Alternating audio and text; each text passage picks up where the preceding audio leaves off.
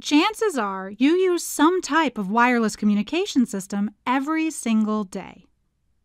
Most wireless communication systems are digital, and in the simplest sense, it means transmitting binary digits over a channel to a receiver. The binary digits can represent just about anything a phone call, a document, pictures of your pets. Those bits get transformed into waveforms via modulation, and those waveforms typically get sent over the air. Think Wi Fi or your mobile phone. The receiver then transforms the waveforms back into bits. In this course, you'll learn how to simulate a wireless communications link in MATLAB. You'll start with quadrature amplitude modulation, or QAM, a single carrier modulation scheme. You'll model a noisy channel and analyze the link's performance.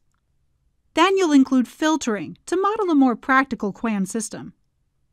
Next, you'll learn how to model a multipath channel, common in wireless applications.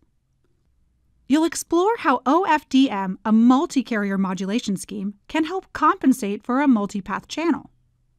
And finally, you'll implement a practical OFDM system. To get started, all you need is a web browser You'll interact with a web based version of MATLAB where you'll receive step by step instructions and instant feedback. You can also experiment and try things out on your own.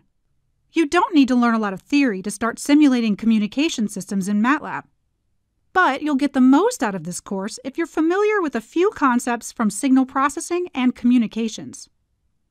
Also, it will help if you know a little bit of MATLAB. You should feel comfortable writing scripts, indexing, calling functions, and setting property values. If you've never used MATLAB before or would like to refresh these skills, we recommend you first take MATLAB OnRamp to get you up to speed quickly. This course should take about two hours to complete, but you can leave anytime and come back later.